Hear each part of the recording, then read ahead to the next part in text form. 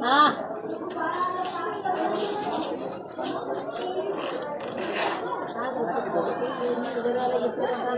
आलू खिलाइए एक मिनट। हमारी पहले नोटिस आई नहीं जो बाद में आई। किसी ने बताया होगा होगा कि वो तो खत्म हो गए तभी हमारे नाम आए समस्या ये आ रही है कि जैसे नाला जो है नाले की धार छोड़ करके पंद्रह पंद्रह फुट सब पैंतीस फुट ले रहे हैं। और जो दक्षिण साइड में है वो नाले की धार में बने हैं। तो, तो नोटिस सबको है।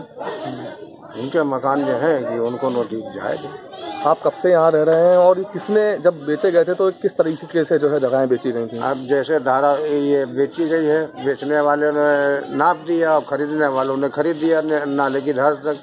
उन्होंने कागज़ देखे ही नहीं पहले और ना हम लोगों को कुछ मालूम था। अब ये तो हमें मालूम था कि सादा नहर में कंटेट है। और ये बढ़ाए गए करीब पाँच पाँच फुट चार चार फुट तो सब बढ़े हुए हैं। कोई दस फुट बढ़ा है। ये बात है। क्या नाम है आपका? संतोष कुमार घर से कब से रह रहे हैं यहाँ पे? आप कितना यहाँ समय नब्बे से रह रहे हैं।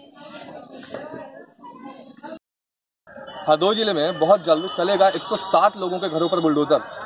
जी हाँ बता दें कि मामला हरदोई शहर और हरदोई देहात से होकर जाने वाले करीब सात किलोमीटर लंबे ड्रेन के ऊपर बने घरों का है।